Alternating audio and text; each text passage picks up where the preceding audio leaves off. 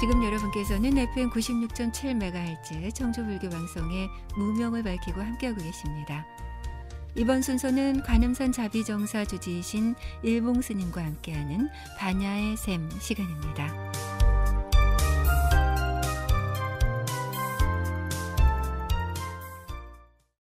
안녕하세요. 관음산 자비정사 서길봉입니다.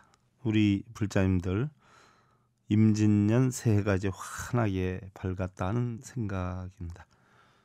이들 뭐 흥룡이다 이렇게 이야기를 하는데요. 뭐 흥룡이 되었든 백룡이 되었든 우리 불자님들 마음가짐에 뭔가 새로운 각고를 가지고요.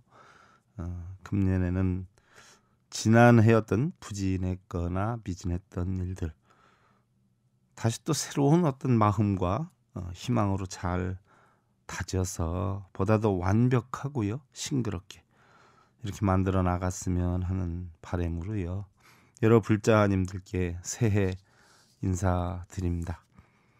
우리 불자님들 아마도 우리는요 우리 자신이 생각하는 것보다 훨씬 더 위대함이 잠재해 있다. 저는 이렇게 생각을 합니다. 그리고 우리는 흔히들 뭐 기회라고 하는 것이요. 평생에 세 번이 온다. 이렇게들 음, 생각하거나 말씀하시는 분들이 많은데요.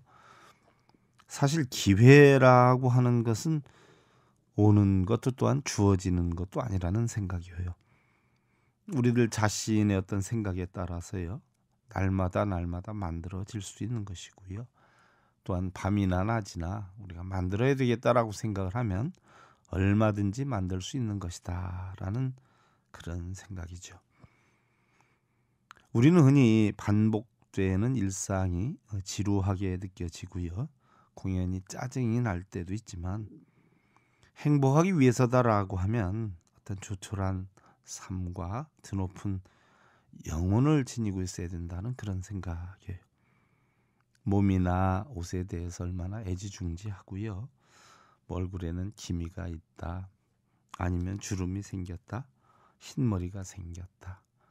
또 염색을 해서 아니면 기미를 없앴다 해서 어떤 좋아하는 그런 마음 또는 체중이 얼마나 불었다 줄었다 그래서 체중에 신경 쓰는 어떤 그런 마음.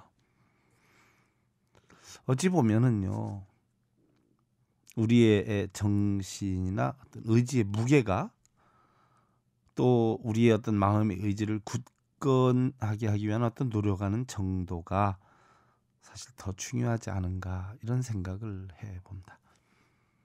우리가 보편적으로 좋은 삶, 부자 되는 삶, 행복한 삶을 영위하겠다라고 할 때는요. 대체적으로 뭐 재물이나 권력이나 어떤 명예의 등지로 많이 비유를 해서 이런 정도만 되면 행복할 수 있으리라라고 생각을 하지만요. 그렇게 어떤 형이상학적인 모양이나 형세나 이런 것으로 인해서 형성되는 행복이라고 하는 것은요. 음, 얻는 순간은 좋을지는 몰라도요. 곧바로 더 많은 것들을 어, 추구하게 되기 때문에 어찌 보면은 번뇌의 어떤 일환이다라고 볼 수도 있는 것이죠. 그러한 것을 얻어서 행복을 추구하는 방법도 사실 한 부분일 수도 있겠지만은요. 더 중요한 것은요. 마음의 어떤 의지, 정신 또 노력하는 정도 이러한 것들을 인격적으로나 품위적으로 더 업그레이드 시키고요. 또 우리의 정신이 깨어 있는 사람만이 우리의 삶을 제대로 행복스럽게 완성시킬 수 있지 않는가 하는 그런 생각을 해 봅니다. 외부에서 얻어지는 어떤 그 형성되는 것도 중요하겠지만은요. 사실은 내 마음의 어떤 인격이나 내 마음의 품위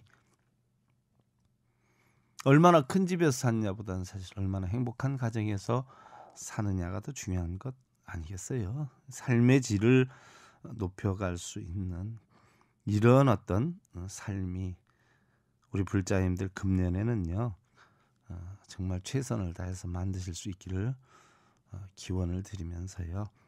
오늘도 부처님의 진리로 행복을 심어주는 청주 BBS 불교 방송 무명을 밝히고의 경전교리 제 189회차 어, 반야샘 시간을 통해서 여러분들께 인사를 드립니다. 관음산 자비정사 석일봉입니다. 지난 시간에는 어, 우리가 무문자설경이라고 그랬어요. 부처님께서 어, 불자들이 질문을 하지도 않았는데 당신 스스로 법문을 해 주셨다. 그래서 묻지도 않았는데 법문을 해 주셨다라고 해서 무문자설경이다라고 하는 불설아미타경. 다시 말씀드리면 이제 불설 무량수경이나 불설 관무량수경과 함께 우리가 미타 정토 삼부경이라 하는데요. 정토 중에서는 이 아미타경을 근본 성전으로 하고 있죠. 그래서 이런 어떤 계유에 대해서 잠깐 말씀을 드리고 넘어갔는데요. 어, 오늘은 이제 본원적으로 아미타경이 어떤 것인가 부처님 경전을 한번 살펴보도록 하겠습니다. 정토 신앙이다 우리가 흔히들 그렇게 표현하는데요. 어, 극락세계 상주하는 어떤 아미타 부처님을 신앙해서 선근 공덕을 닦고 또 누구나 한 마음으로 아미타 부처님을 어, 부르기만 하면은 극락세계 왕생한다 뭐 이런 내용을 담고 있지 않아요? 그래서 어떻게 보면 아미타경을 소무량수경 또는 소경이라고 했고요. 무량수경을 대무량수경, 대경이다 했고 아미타경을 이제 음, 무량수경을 간결하고 유일하게 유학해서 중국이나 일본 또 우리나라에서 널리 읽혀지고 있는 그런 경전이다라는 것을 말씀드렸어요. 이제 경전 공부를 해보시면 아시겠지만요, 경전이라는 것은 부처님 말씀 경자를 쓰지 않아요. 그래서 부처님 말씀이다라고 보는데 결국 아미타경이라는 것은 아미타불에 대한 부처님의 말씀이다 이렇게 표현을 할 수가 있어요. 그래서 음, 아미타경에 보면은 극락 세계가 장엄된 것, 또 그곳에는 사막도 지옥하기 축생의 어떤 사막도가 없다라고 했고요. 어, 부처님의 광명이 한없이 많고 또 살아서는 우리가 극락과 같은 편안함을 형성할 수가 있다라고 했는데 결국은 어, 어떤 정신 세계의 정토다라고 하는 것은요 지옥하기 축생이 없는 것, 즉 힘들고 어렵고 고통받는 삶을 우리가 지옥이다라고 볼 수가 있고요. 내 마음이 괴로우면 지옥이잖아요. 내 마음이 즐거우면 극락이 될 수가 있는 것이죠. 그래서 어, 정신적으로도 어떤 편안한 삶을 영위할 수 있다라고 했고요. 또 누구든지 아미타불이라라고 하는 이름을 진심으로 묻고 부르고 또 그 아미타불의 이름을 듣고 신심을 내어서 열심히 우리 아미타 부처님이 세우신 48가지 원을 어, 이루신 것 같이 우리도 그와 같은 수행정진을 하면 누구나 다 극락세계에 태어날 수 있다라고 설명한 글이죠. 그래서 음, 보편적으로 아미타경을 살펴보면요. 첫 번째가 법회 중중분이다 해서 법회를 여는 음, 그런 내용에 대해서 이야기가 돼 있어요. 그래서 여시아문 이렇게 시작이 되는데요.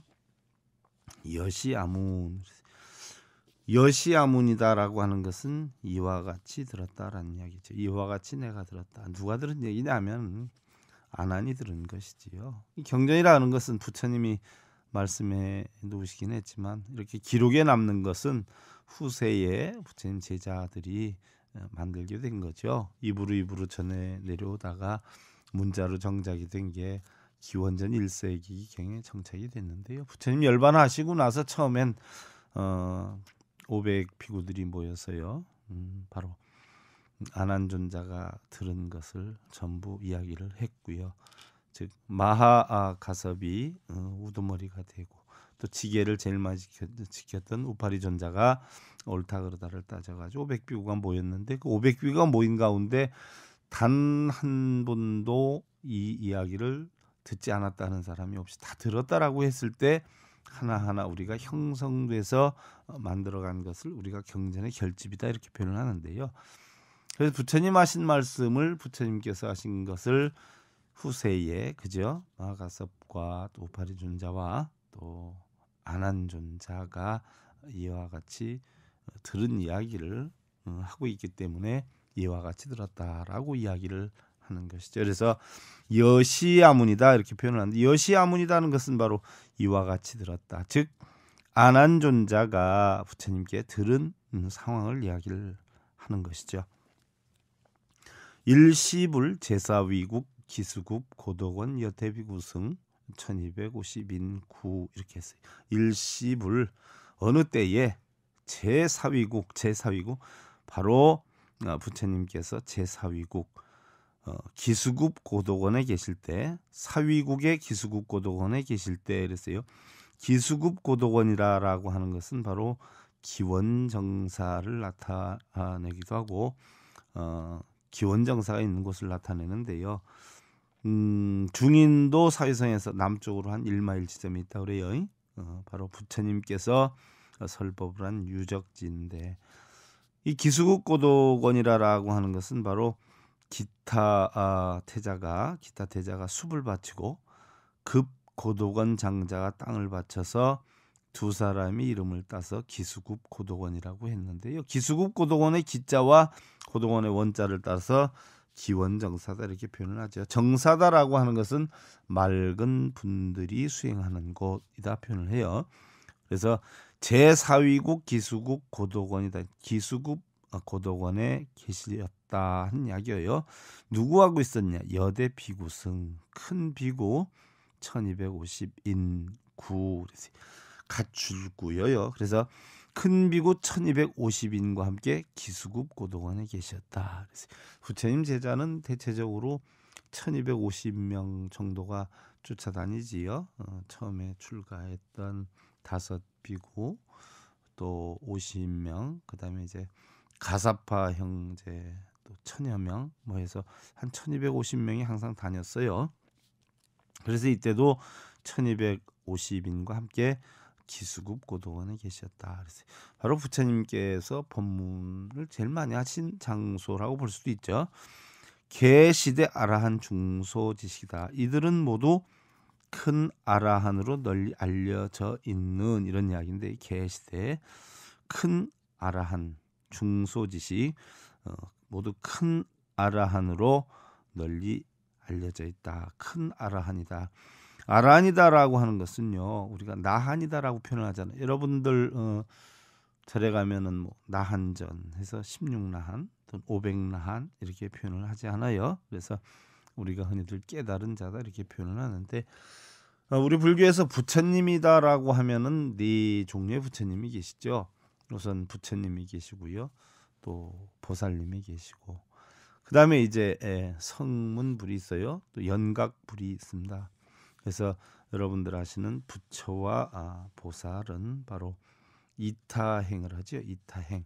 그걸 또 굳이 쪼갠다라고 하면은 부처는 정이 남아 있지 않고 깨우침을 얻었다라고 해서 우리는 무정각이다 이렇게 표현을 하고요. 보살은 음, 아직 정이 남아 있어서 유정각이다 이렇게 표현을 하는데요. 또 성문불이다라고 하는 것은 어, 들어서 깨우침을 얻으신 분이고요. 어, 연각불이다라고 하는 것은 인연 따라 깨우침을 얻으신 분이다 이렇게 표현을 하는데 성문불과 연각불은 자리행을 한다라고 해서 소승이라 그러고요. 어, 부처와 보살은 이타행을 한다라고 해서 우리가 대승이다라고 이렇게 얘기를 할 수가 있죠. 그런데 우리 불자님들, 우리 수행하시는 스님들 이분들은 만약에 깨우침을 얻으신다라고 하면요. 어, 물론 태어날 때 불성을 가져와서 부처다라고 하지만 우리는 가르침을 배워서 깨우침을 얻지 않아요. 그래서 네 가지 부처님 가운데 우리는 성문불이 될 수가 있는데요. 성문불이 된다라고 하는 것을 보면은 초기 불교에서는요. 근데 원시 불교다. 근본 불교다 이렇게 표현하는데 그건 아함을 중시해서 해놓은 사상인데요.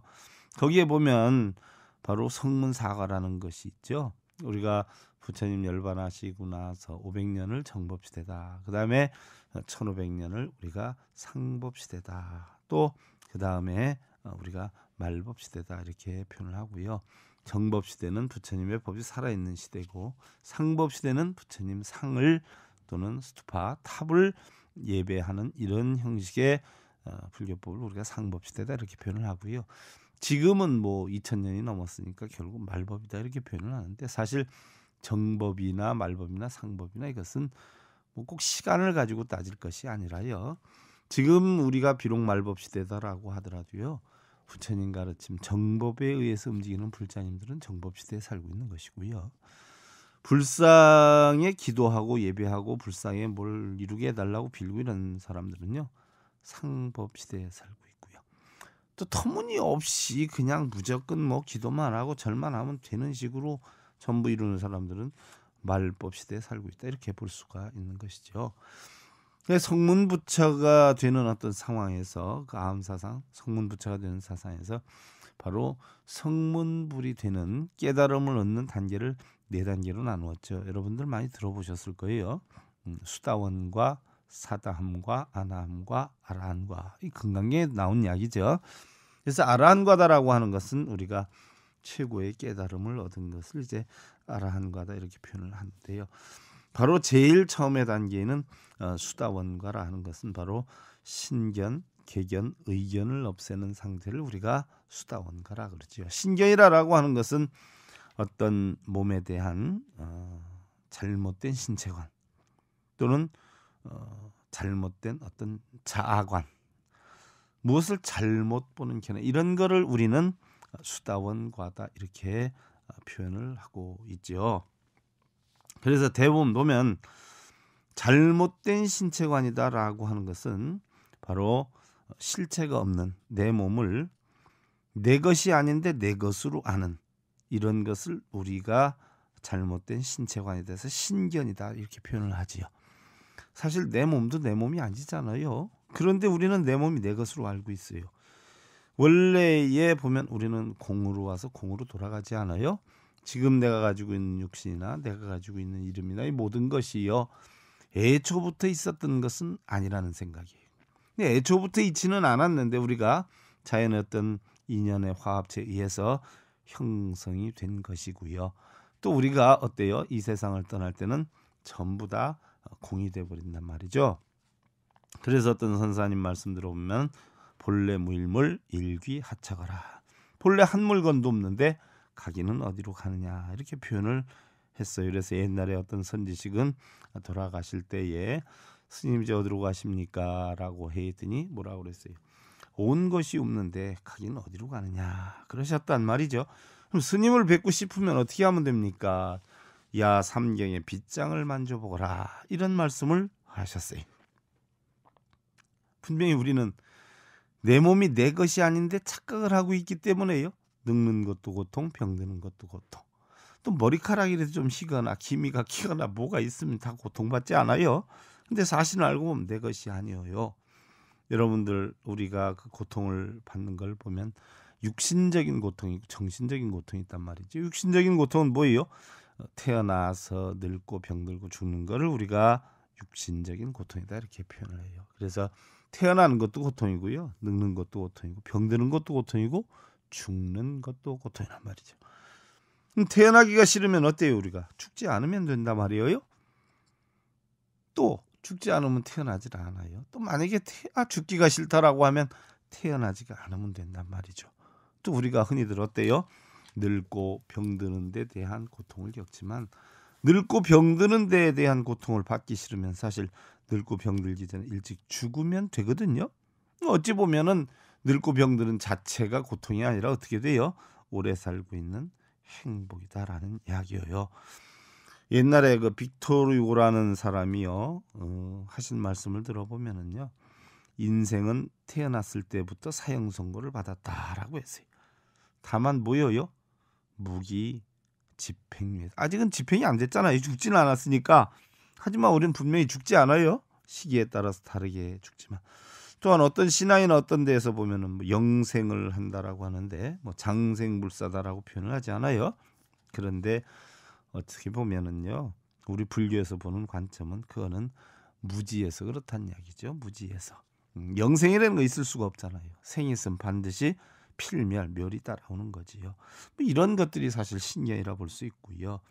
어, 우리 경전을 살펴보면은 여러분들 인생이라 하는 용어가 별로 나오질 않아요. 인생이라는 용어가. 그러면 우리는 뭐라 그러냐? 바로 생사라고 경전에서 많이 얘기를 하고 있습니다.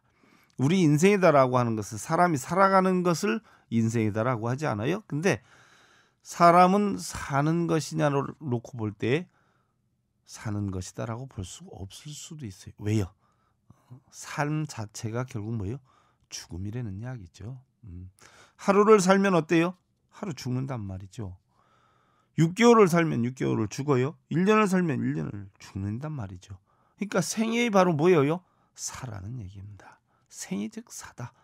살고 있는 것이 결국은 죽어가는 것이다는 얘기예요. 이렇게 놓고 볼 때 우리 인생은 뭐예요? 살아가는 게 아니라 죽어가는 것이다라고 볼 수가 있는 것이에요. 죽어가는 것이다. 그래서 바로 우리는 뭐예요? 인생을 해결을 하는 것이 아니라 인생사, 즉 생사를 해결하는 것이다는 이야기예요. 이런 어떤 잘못된 견해를 우리가 신견이라고 하고요.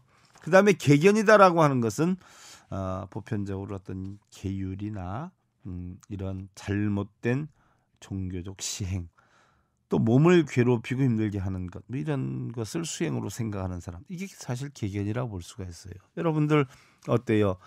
우리 불교 수행이다라고 하면 여러분들 절에 다니면서 뭐 자식 잘 되게 해달라, 남편 잘 되게 해달라, 취직 잘 되고 뭐 돈 잘 벌게 해달라, 뭐 건강하게 해달라 이런 것을 부처님 상에다 비시는 분들이 많은데요. 사실은 이거는 개견에 해당이 돼요.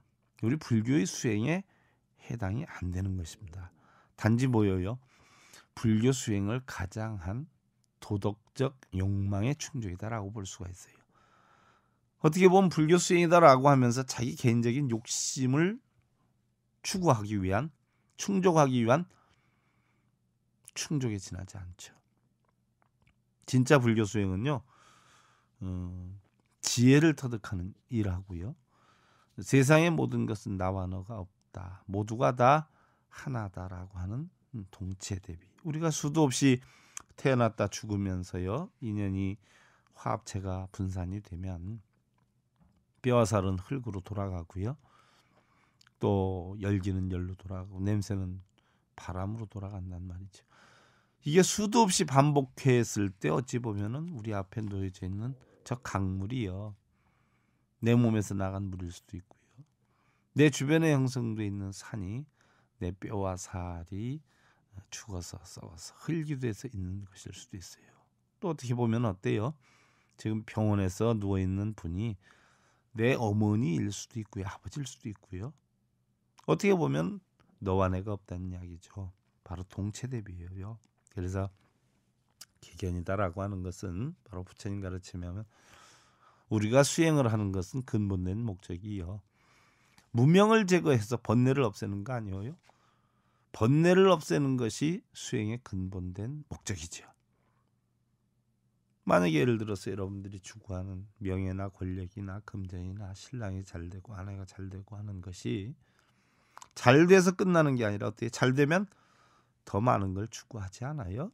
그게 번뇌의 원인이 될 수가 있죠. 수행의 목적은 번뇌 제거라 말이죠. 무명을 없애서 번뇌를 제거를 하는 것이. 그러니까 이런 것이 계견이고 또 의심을 하는 게 의견이. 이게 없애는 게 바로 어, 수다원과예요.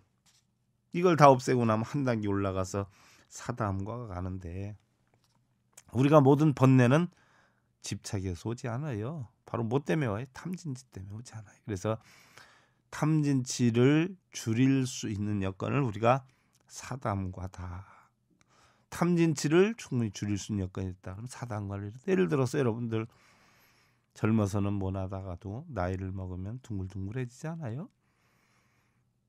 이것을 바로 탐진치를 줄일 수 있기 때문에 이거를 사담과를 이뤘다 이렇게 표현을 할 수가 있어요.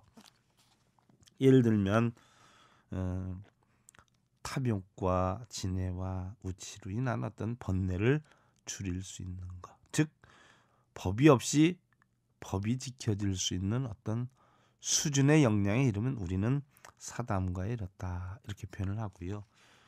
그 다음에 이제 세 번째로 아나함과는 탐욕과 진해를 완전히 없애는 것을 사실 뜻하죠.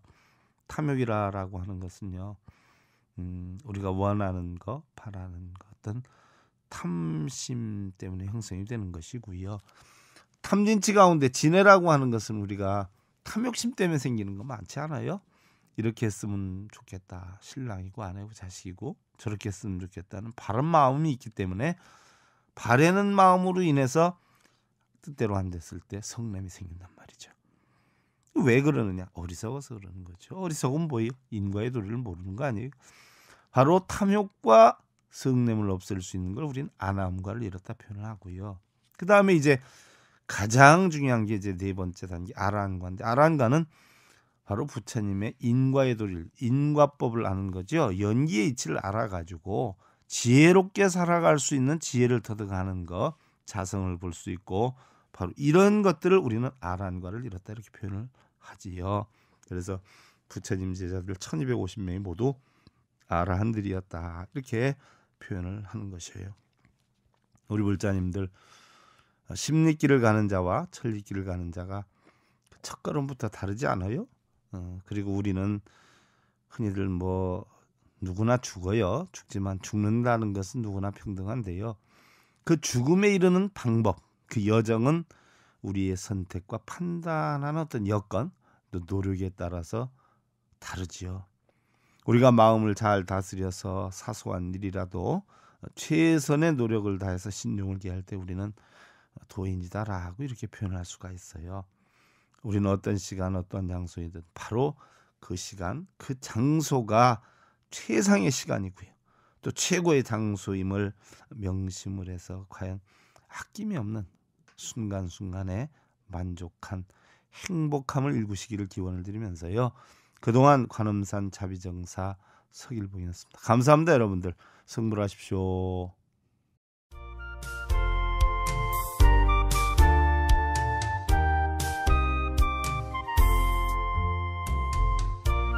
지금까지 관음산 자비정사 조지이신 일봉스님의 반야의 샘 함께 하셨습니다.